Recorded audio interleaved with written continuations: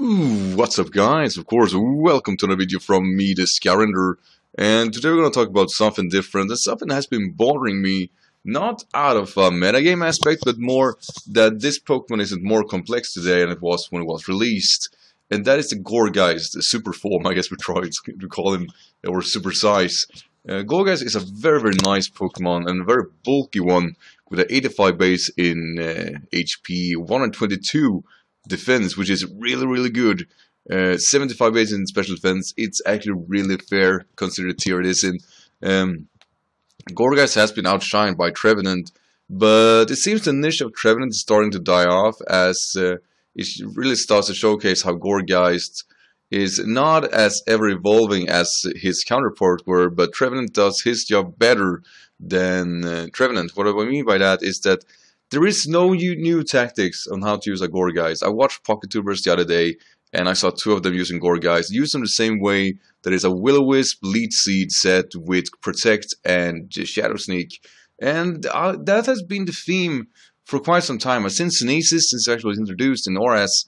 And I thought that would be the game changer, that now people will see that Pain Split is not a reliable recovery, Synthesis is and you can do other things with this Pokemon. But no, that has not happened, and um, it's not necessarily a bad thing, like I said, because I get why people are using it as a D wall in NU, but it's actually gone so far to PU. People are not utilizing this, this Pokemon more than what its stats implying that it can do. But the thing is here, or actually I should show you, I went to Smogon just to verify that I'm not wrong about this. And look at this. In PU, Will-O-Wisp Synthesis, Seed Bomb, Foul Play. Now, I will say this. With that defense, would you really use Will-O-Wisp? Is that, is that a priority? I get the residual damage, I do. But really? I mean, the physical bulk for a Pokemon on itself is there. It is actually, you're better off with Toxic if you want to have some kind of residual damage. Will-O-Wisp is not really helping it taking damage that much better because people are not trying to attack the thing physically. Mind you, if you're not a Swellow, which actually has guts, and that's gonna not work out anyway. And I went to NU checking that. You know what? Still, Will-O-Wisp, Leech Seed, Synthesis, Foul Play. Very, very weird. Watched RU, was hoping for something different. Yeah, Protect. Not Synthesis this time, but basically the same set. Went to UU, is it gonna change? No. Willow, Leech Seed, Synthesis, Seed Bomb. Alright, then OU, at least something has to happen, right? But no, has a lot of issues in OU, which of course is expected. But you see the same set here, and I was basically like, really, this this is gotta stop. People are not seeing the potential of this Pokemon, um, or rather, they've only seen the one potential it has. Let me break it down to you. 100 base attack. That's a lot. That's a lot for PU, that's a lot for NU, that is almost a lot in RU. And what I'm trying to say is, it has some natural good bulk. Why not utilize its attack stats? It has a great priority of the Shadow Sneak move. It has Frisk to scout out what Pokemon could be able to do. And just in general, it's worth checking out for that reason alone. I used different sets on my channel. I haven't used my Gourgeist since ORAS, sadly, and I think that's gonna change after after I seen how stale this Pokemon has become to some people.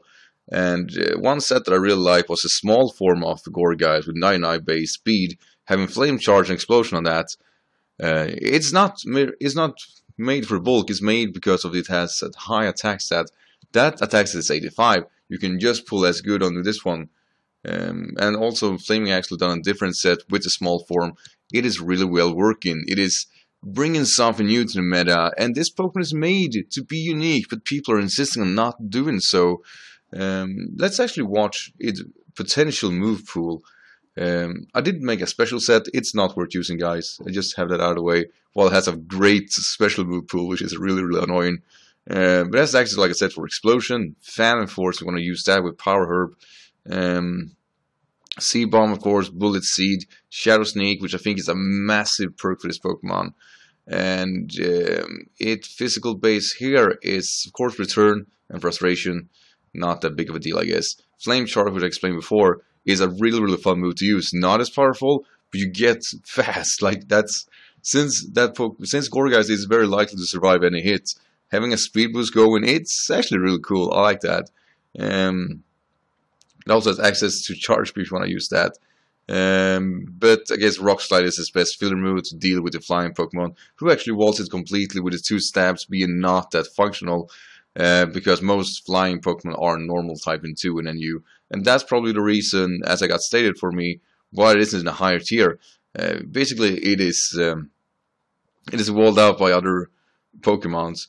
And if we look at the tutor moves that Hit can learn, it's not a whole lot. Like I said, the really one that stands out is actually the Synthesis, which is real nice for it. It really is a game changer for this Pokemon.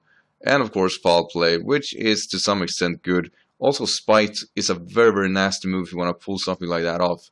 Since, like I said, it is very likely to survive the onslaught it's going up against. And since you can frisk your opponent, you can actually frisk out if it is a bandit or spec set or scarf and you know spite that gone that is that is good. That is something else.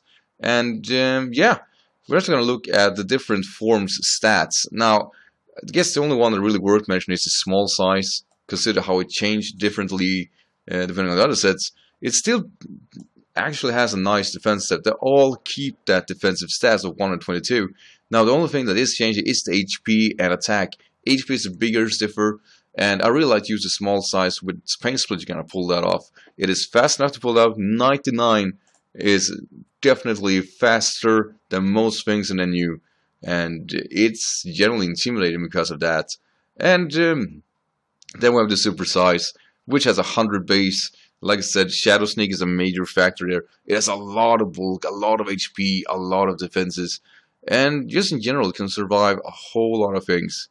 So um, yeah, guys, what I'm basically trying to say is live, give this guy a tryout. I don't mind the, the Stoli set, I don't. I'm just trying to imply here that we are missing what this Pokemon is actually able to do. It's not just your average wall in uh, PU.